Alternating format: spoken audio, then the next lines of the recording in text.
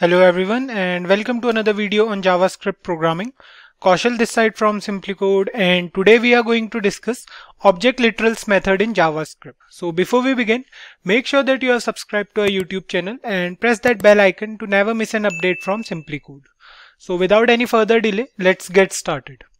So object literals method in JavaScript are defined as a comma separated list of name value pairs wrapped nicely in curly braces.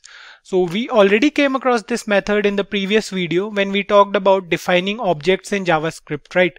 So we are talking again about this method because in the following video where we'll be discussing constructors in JavaScript, I want you guys to understand this method thoroughly so that it will be easy for you guys to understand the difference between the object literal method and the constructor method.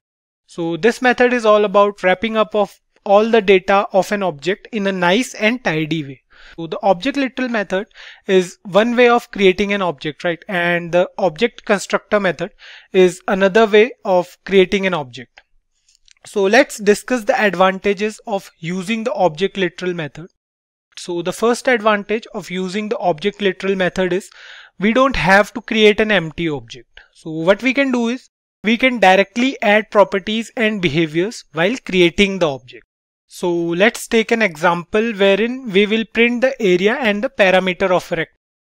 So we'll create an object first. So let's say we are defining an object and here we will write var and the name of the object will be let's say rect1 because we are printing the area and the parameter of a rectangle. Then we have a pair of curly braces for the body of an object. So here we are with an object which is named as rect1 and now let's say we have two properties which are the length and the width of a rectangle. So let's define them as well. So we'll write the property name and so let's say the first property is length. So this is the first property and then we'll use colon. So here one thing to notice is we are using colon in place of equals to to assign a value, right? We are assigning a value to this length property and let's say the value is 5 and then it will be followed by a comma. Then we'll write here the next property. Let's say width is the next property and we'll again use colon and let's say the value of width is 10 and then we'll separate this key value pair. So one thing here to notice is that we are using the key value pair. So here in this case the keys are length and width and the values for these keys are 5 and 10 so remember this guys because we need them in following videos. So let's move ahead and we'll declare the methods as well. I hope you guys are aware of the syntax for how to use a method within an object. So let's define here the methods as well. So we'll use two methods. One for the area and the another one for parameter. So let's say the method for area is get area. And then we'll use colon and then we'll write here function. And then we have the body of the function. So what this get area method will return is it will return the area of the rectangle right? So it will return.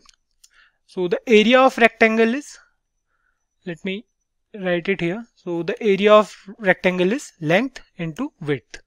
Or we'll write here w. So it will return this dot length into this dot width. Right? So one thing to notice here is we are using the this keyword again. So this keyword refers to the object it belongs to. So here in this program this will refer to the object basically right? Here in this case it refers to object rect1 so let's use the other method as well. The next method will be get parameter and then we'll use the colon. Then we have the function keyword and the body of this method. So what this particular method will return is it will return the parameter of a rectangle. So the parameter of a rectangle is 2 into length plus width. Or we can say 2 into length plus 2 into width. So here in this case it will return 2 into this dot length plus 2 into this dot width. Right. So let's print these values as well. So we'll write here document dot write and we'll print all the four properties. Or we can say we'll print the length then we'll print the width and then we'll print the area of the rectangle. And finally we'll print the parameter right? So let's say we are using the h2 tag here to make it more clear for you guys. So here we will write the first sentence will be the length of rectangle is and then we'll print the value of length. Then finally we'll use the h2 tag again. Now we'll copy this statement and we'll print it four times because we want to print all the four values right? We want to print the length width area and parameter. So we'll write here width and here in the next line we will print the area. And finally we'll print the parameter right? So we'll change the values as well. So we, here we have two properties the length and the width. And then we have two methods. The first one is get area. And the second one is get parameter. So here we are done with our printing process. So let's save this program now and see here we have four values.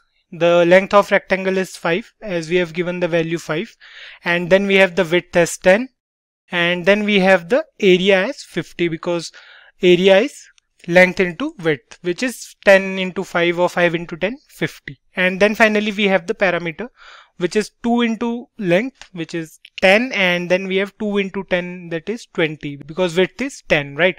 So 20 plus 10 30 so the parameter of rectangle is 30 so we discussed this method again to make it more clear to you guys Whenever we are working with a single object or when we know everything about the properties and the behavior of an object, we should always use the object literal method. That's because this method runs faster and we have to write minimum code while using the object literal method. So we discussed this method to clarify to you guys that when we use constructors in JavaScript that is in the following video, it should not create any sort of confusion or such thing. So that's all for this video guys. See you in the next one where we'll go through constructors. If you liked this video, do give it a thumbs up. If you have any doubts, do let us know in the comments below. Share it with your friends and don't forget to subscribe SimpliCode. Thank you.